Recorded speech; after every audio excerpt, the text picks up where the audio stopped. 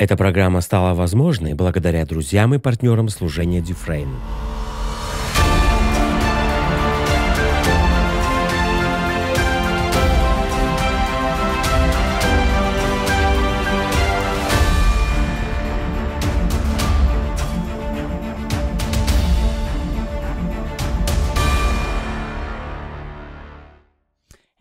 Добрый день! Я так рада приветствовать вас на программе «Иисус Целитель». Я бы хотела объяснить, где мы находимся. Мы снимаем передачи задолго до того, как они выходят в эфир в вашем городе, потому что я отправляю заснятые передачи переводчику, и происходит целый процесс, прежде чем они попадают к вам домой или на работу, где бы вы их ни смотрели. Итак, передача, которую вы смотрите, снята несколько месяцев назад, когда в связи с пандемией COVID-19 в штате Калифорния запрещено проведение собраний в помещении. Мы можем собираться на улице, но не в помещении. Я могла бы просто установить камеру в зале церкви и там снимать наши передачи для вас. Но, поразмыслив, я поняла, что предпочла бы более семейную атмосферу. Так что я решила пригласить вас в особенное место. Это наше ранчо в Колорадо. Как вы знаете, наше служение находится в Калифорнии. Но у моего мужа была мечта иметь ранчо в Колорадо. И прямо перед тем, как он ушел домой к Господу, он купил это место. И мы очень благодарны, что можем приезжать сюда и проводить здесь время. Я подумала, что было бы чудесно вместе с нашими зрителями побывать на этом месте. Прямо за мной не наш основной дом здесь на ранчо, а однокомнатный домик, построенный моим сыном. Он построил его для того, чтобы когда у нас на ранчо останавливаются гости, я могла бы уединяться в этом домике, который вы видите за мной. Я просто решила немного познакомить вас с этим местом. Как я уже сказала, мне захотелось более семейной атмосферы. И мы так рады, что можем обращаться к вам отсюда. Сегодня утром, когда я проснулась, Дух Божий начал говорить со мной, и я хотела бы особенно обратиться к некоторым зрителям. Он начал говорить со мной о том, что кто-то из вас, и это могут быть и несколько человек, столкнулся в жизни с неправильным, ужасным обращением. А вы, если так можно выразиться, человек с очень нежным сердцем, мягким духом. И кто-то в вашей жизни, может быть, много лет назад, а может и сейчас, неправильно обращался с вами, обходился с вами плохо, говорил с вами таким образом, что к вам пришел страх. И вы мучаетесь в своем разуме настолько, что у вас заниженная самооценка, вы напуганы. И Бог хотел, чтобы я сказала вам, что то, как с вами обходились, не отражает его отношение к вам. И он не хочет, чтобы вы смотрели на себя глазами того, кто плохо с вами обращался. Он хочет напомнить вам, что вы во Христе, и вы так драгоценны для Него, так дороги. Он заботится о вас и хочет, чтобы вы знали, что Он относится к вам с любовью. Вы во Христе. Он сказал мне напомнить вам, чтобы вы отложили мысли о том, как кто-то обращался с вами, мысли о том, как кто-то к вам относился, и думали о том, как Он вас любит и как Он к вам относится, и жили в свободе разума, чтобы не мучиться, не быть подавленными из-за того, как с вами обошлись, из-за нападок и противостояния вам других людей. Бог хочет, чтобы, отложив то, что говорили другие, Вы не касались этого в своей умственной жизни, не прокручивали и не вынашивали в своих мыслях то, что говорили другие. Но вместо этого питались Словом, напоминали себе Божьи мысли о вас. Работаете над своим самовосприятием через Христа, а не через отношение к вам других людей. Бог хочет, чтобы вы знали, что ничто из того, что вам пришлось пережить от других людей, не отражает Его любовь к вам. Вы можете ощущать подавленность, вам становится страшно из-за того, как с вами обошлись. Ведь на самом деле это повлияло на ваши нервы. И теперь обыкновенная жизнь изо дня в день заставляет вас нервничать. И вот когда это происходит, просто переключите свое внимание, обратите свое сердце к Богу и начните поклоняться Ему. Начните фокусироваться на Его заботе о вас. И я вам гарантирую, когда вы сосредоточитесь на Нем, прекратив уделять внимание тем словам, которые вам говорили, и тому, как с вами обращались, я вам гарантирую, что то, как с вами обращались, воспоминание об этом постепенно исчезнет. Его кровь омоет и вычистит все это дурное обращение из вашей памяти, когда вы уделите время, чтобы поклоняться Ему. И неважно, когда вы будете смотреть эту передачу. Если это касается вас, вы можете признать это и сказать, «Я признаю, что Бог обращается ко мне через эти слова, и у Бога есть помощь для меня». Бог не хочет, чтобы ваша жизнь проходила в мучениях, чтобы на ней было клеймо чьего-то дурного обращения. Скажу так, перестаньте держать зло на кого-то. Выберите сказать «я прощаю», потому что Бог простил меня, я прощаю. И переключите свое внимание на то, как с вами обращается Бог и как Он относится к вам с любовью. Божье отношение к вам так драгоценно, и Бог хочет, чтобы вы сосредоточились именно на нем.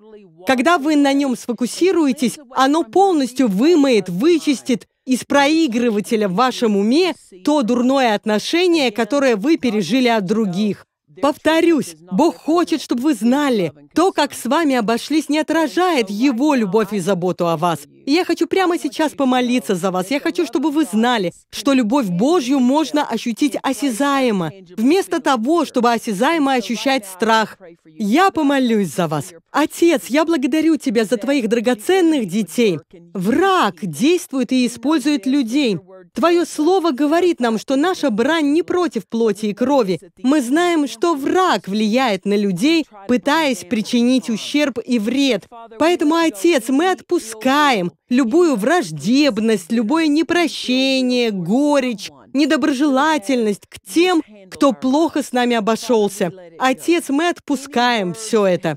Любые слова, которые причинили ущерб и вред и принесли боль, мы покрываем кровью Иисуса. Мы верим в кровь Иисуса, которая омывает и очищает. Она также очищает наш ум от того, что прокручивается в нем. И мы отказываемся вынашивать и проигрывать эти мысли. И я говорю страху во имя Иисуса. Я говорю подавленности во имя Иисуса. Я говорю депрессии, которая пришла в жизнь людей через чьи-то неправильные слова. И я говорю, оставьте их во имя Иисуса. Оставьте их разум. Уберите свои руки от их жизни во имя Иисуса. И, Отец, я верю Тебе, что Твоя любовь, Твой мир сойдет на них и потечет через них настолько, что невозможно будет отрицать, что твоя любовь и забота — это все, на чем им нужно сосредоточиться. Мы благодарим Тебя, Отец, за Твою помощь этим драгоценным людям. Во имя Иисуса мы благодарим Тебя за очищающую кровь и за свободу, которая приходит во имя Иисуса. Я вам скажу, Иисус все за вас заплатил. Вы принадлежите Ему, и вы так дороги Ему. И дьявол обожает мешать правильному мышлению. Он хочет принести неправильное мышление, например, через то, как люди с вами обращались. Но я хочу, чтобы вы знали, любовь Божья все меняет. Когда-то и в мою жизнь через разные отношения прозвучали слова, которые потом пытались в ней остаться, если можно так выразиться. И чтобы выйти из этого на свободу, Дух Божий повел меня молиться на языках.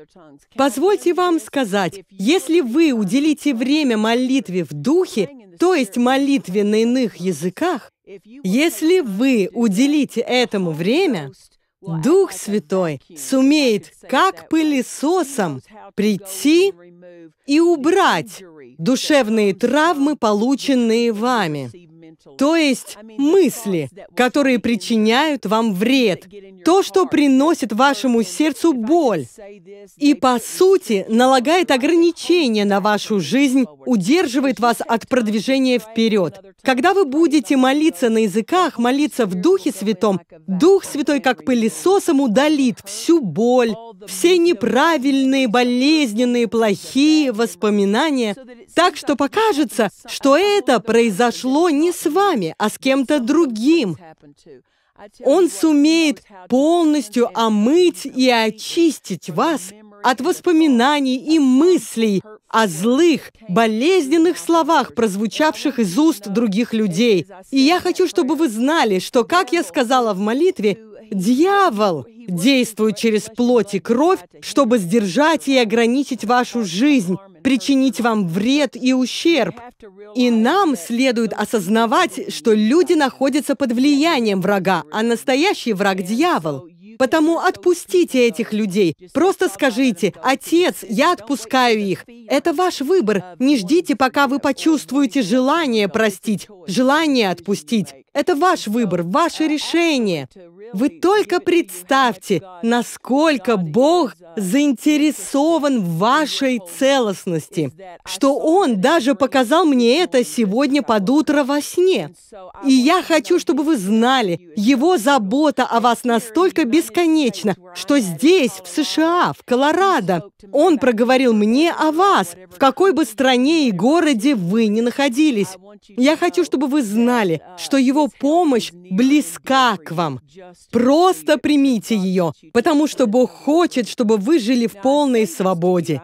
И как я говорила, Уделяйте время молитве в Духе Святом, потому что, когда вы говорите на иных языках, вы не используете свой разум. Вы говорите слова, которые вам дает Дух Божий. И когда вы будете говорить Его слова, Его слова повлияют на каждую сферу вашей жизни. Возможно, кто-то из вас скажет, «Пастор Нэнси, я не знаю, о чем вы говорите. Что такое молитва на иных языках или молитва в духе?» Это то, о чем рассказывается во второй главе Деяний. После распятия, погребения и воскресения Иисуса из мертвых 120 учеников собрались вместе по указанию Иисуса. Они собрались в горнице. И Дух Святой сошел на землю, чтобы жить в людях, жить в верующих, жить в церкви. В Деяниях 1.8 Иисус сказал, «Вы примете силу, когда сойдет на вас Дух Святой». И Он сказал ученикам пойти в Иерусалим и ожидать там Святого Духа. И тот день настал, в день Пятидесятницы Дух Святой сошел на землю, чтобы сделать ее своим жилищем, чтобы сделать тело Христа местом своего обитания. Нам больше не нужно идти в Иерусалим и ждать, Он уже пришел. Поэтому прямо там, где вы находитесь, если вы рожденное свыше Божье дитя, вы можете принять Святого Духа. Обратите внимание, Иисус был дан как подарок всей земле. Каждый может принять дар Иисуса. Но у Иисуса есть еще один подарок, который дарован только Его детям, и это дар Святого Духа. Когда вы родились свыше, Дух Святой вошел в вас. Он обитает в вас, поскольку вы дитя Божье. Потому что именно Он принес и дал вам новую жизнь, природу Бога, вложил жизнь Божью, вечную жизнь в ваш дух. В восьмой главе Римлянам сказано, что Дух Святой свидетельствует Духу нашему, что мы дети Божьи. При рождении свыше Дух Святой вошел в вас, и Он обитает в вас, и Он свидетельствует. Вы знаете в своем духе, «Я принадлежу Богу, я дитя Божье». Это знание пришло благодаря тому, что Дух Святой живет в вас. Итак, в каждом рожденном свыше человеке обитает Дух Святой. Но Иисус говорил еще об одном опыте с Духом Святым. Это исполнение Духом Святым.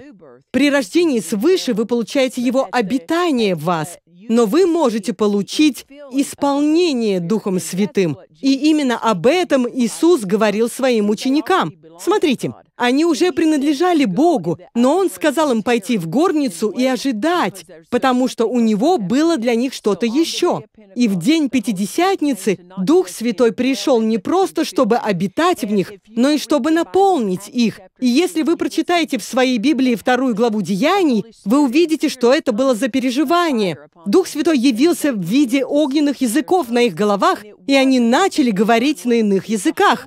Они не изучали языки. Дух Святой давал им, что говорить. Эти языки не пришли через их знания, они не пришли через образование или понимание. Это Божья речь. Бог дал нам способ общаться с Ним один на один через говорение на иных языках. Я призываю вас прочитать вторую главу Деяний, потому что там об этом говорится.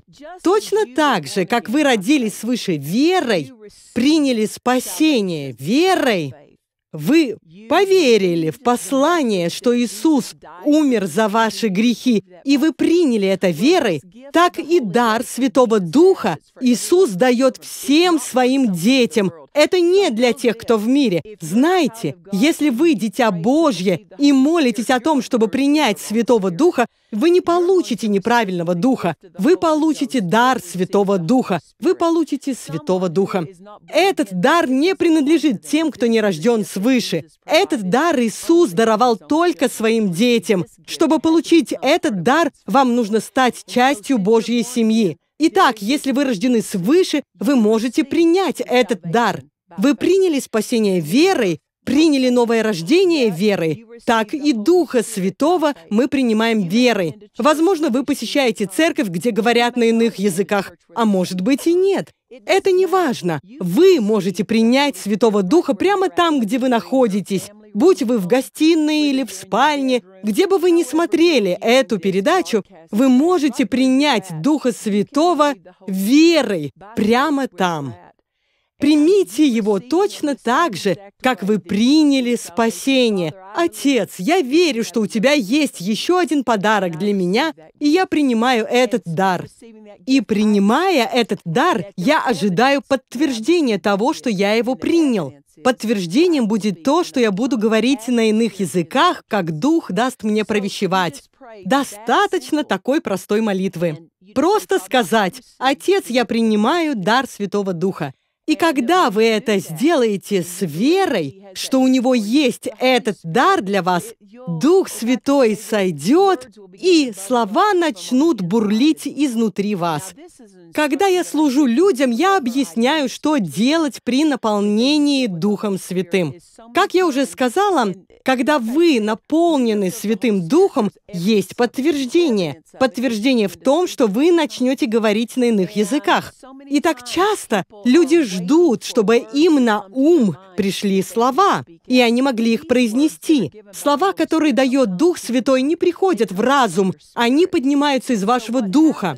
И вам просто нужно говорить своим языком. Вам нужно открыть свои уста. Бог не заставит вас говорить. Говорить будете вы. Просто подключите свой язык к своему духу. Что я имею в виду? Сдайтесь, отдайте свой язык своему духу, и изнутри вас начнут бурлить слова. И иногда люди даже говорят, что кажется, будто у них язык стал тяжелее. Что это? Это Дух Святой поднимается, и слова приходят, и Он хочет, чтобы вы их произнесли. Говорите эти слова. Дух Святой дает вам слова, но вам нужно говорить те слова, что Он дает. Итак, принимая Духа Святого, не ждите, чтобы слова пришли в ваш ум. Они не придут в ваш ум, они будут как бы булькая подниматься наверх, и вы просто начните произносить их. И я хочу помолиться за наполнение тех из вас, кто никогда не исполнялся Духом Святым со знамением говорения на иных языках. Вам нужен этот дар, вам нужно это наполнение. Позвольте вам сказать, в каждом человеке есть жажда сверхъестественного. Есть желание чего-то великого, желание сверхъестественного. Потому что нас сотворил сверхъестественный Бог. И в каждом человеке есть жажда Бога, жажда сверхъестественного. Но иногда Ради того, чтобы утолить эту жажду, люди обращаются к ложным религиям или чем-то еще пытаются восполнить эту жажду. Но исполнение Святым Духом настолько заполнит вас, что вы войдете в сверхъестественную жизнь. Когда вы наполнены Духом Святым и говорите на иных языках, вы молитесь на сверхъестественном языке, потому что вы не подбираете слова естественным образом. Вы входите в сверхъестественную молитвенную жизнь, приходящую из сверхъестественного источника, от Духа Святого. И так вы войдете в сверхъестественный образ жизни. Вы сможете общаться со своим Отцом на совершенно новом уровне. Знаете, когда мы молимся и разговариваем с Богом, мы можем выразить Ему любовь и признательность на своем родном языке. Но иногда нам не хватает слов, чтобы полностью выразить то, что у нас на сердце. И возникает что-то вроде внутренней неудовлетворенности, потому что вам хочется выразить Богу то, что у вас на сердце, больше, чем вам позволяет ваш родной язык. И тут вам поможет одно из преимуществ говорения на иных языках. Ваш дух будет доволен, потому что вы сможете своим духом через этот незнакомый язык, через говорение на иных языках выразить то, что у вас на сердце. Вы начнете говорить Отцу, и ваше сердце будет довольно, ваш дух будет доволен, потому что вы будете говорить слова из духа, а не просто из своего разума. Поэтому я призываю вас, когда вы креститесь Духом Святым, говорите на языках каждый день, потому что это введет вас в сверхъестественную молитвенную жизнь и в сверхъестественный образ жизни. Именно поэтому я решила уделить эти несколько минут теме говорения на языках, тому, как исполниться Духом Святым, а также важности говорения на языках. Потому что в том сне, который Бог дал мне сегодня под утро насчет некоторых из вас, Он показал, что говорение на языках может помочь вам выйти на свободу из мучений и терзаний и последствий плохого обращения с вами.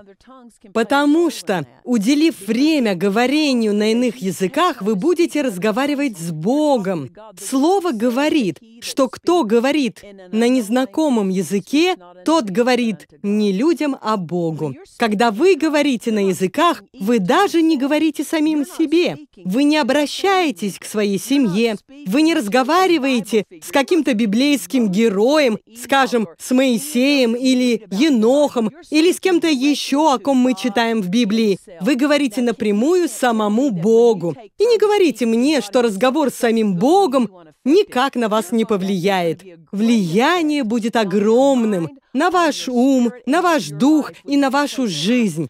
Когда вы будете проводить время в разговорах с Богом на божественном языке, на языке, данном вам Святым Духом. Всякий раз, когда нужно с чем-то в жизни разобраться, вы можете воспользоваться божественной помощью. Проводите время, говоря на языках.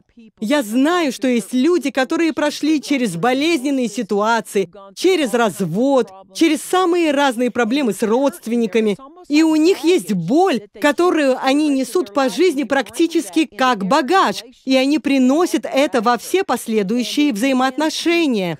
И это начинает окрашивать все отношения и мешать им. Но я вам скажу, если вы уделите время, чтобы говорить на иных языках, это удалит всю боль. Уделите время, чтобы говорить Богу, потому что, когда вы говорите на незнакомом языке, вы говорите напрямую Богу. Уделите время, чтобы говорить Богу, и Его присутствие, Его сила, Его исцеление, Его природа поднимется внутри вас. И то, что могло причинить вам вред и ранить вас, будет удалено из вашей жизни. Так что, если вы прошли через болезненную ситуацию, болезненный развод, болезненные отношения, уделите дополнительное время каждый день, чтобы молиться в духе, чтобы говорить на иных языках. Если с вами плохо обращались, у кого-то было очень трудное детство, это не должно определять и окрашивать вашу жизнь. Ничто из этого не должно вас определять. Вас определяет то, кто вы во Христе. То, кем Он вас сотворил, теперь должно определять вашу жизнь. Поэтому уделяйте время молитве на иных языках, и вы увидите, как боли, трудности прошлых отношений, слова, сказанные вам, будут полностью удалены из вашей жизни. И теперь я хочу помолиться за тех, кто хочет креститься Духом Святым. Если вы рождены свыше, молитесь со мной этой молитвой. Скажите, «Отец, я так благодарен, что я принадлежу Тебе. У Тебя есть еще один подарок для меня, как для Дитя Божьего. И я принимаю этот подарок – дар Святого Духа. И есть подтверждение того, что я принимаю этот дар. Это подтверждение в том, что я буду говорить на иных языках. Я принимаю дар Святого Духа верой. Я не получу неправильного Духа. Я принимаю Духа Святого. Принятие Духа Святого совершенно безопасно для меня. Дух Святой, я принимаю Тебя прямо сейчас. И теперь, поскольку Ты наполняешь меня, не только обитаешь во мне, Поскольку теперь ты наполняешь меня, я благодарю тебя, что ты даешь мне иные языки, слова на Божьем языке. И я говорю эти слова своими устами прямо сейчас.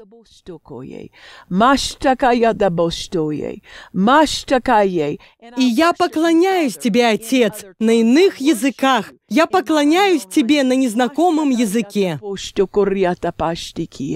Я благодарю Тебя, Отец, что прямо там, где они находятся, они сейчас получают исполнение Духом Святым.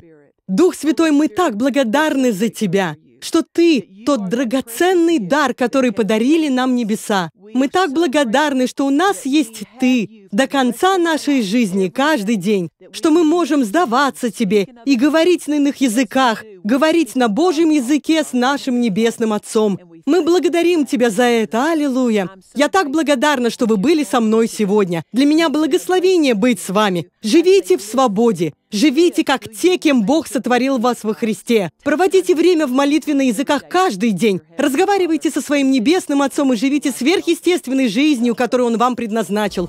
Мы надеемся, вам понравилась сегодняшняя программа. Посетите наш сайт dufresneministries.org, чтобы узнать о ближайших собраниях, поделиться своим свидетельством или обратиться с молитвенной просьбой. Эта программа стала возможной благодаря друзьям и партнерам служения Дюфрейн –